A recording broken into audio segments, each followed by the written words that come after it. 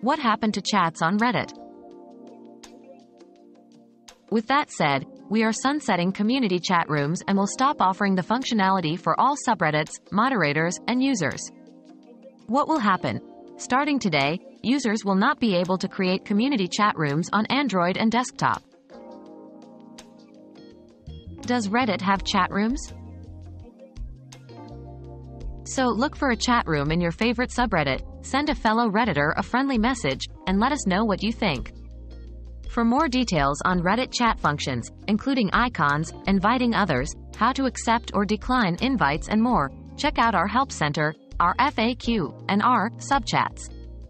redditinc.com. redditinc.com. How do I find chat rooms on Reddit? At the bottom of the Rooms tab, people will find a recommended section which lists default rooms and any rooms from subreddits that they're subscribed to. Chat rooms can also be found in the sidebar on Redesign. Reddit.com. Reddit.com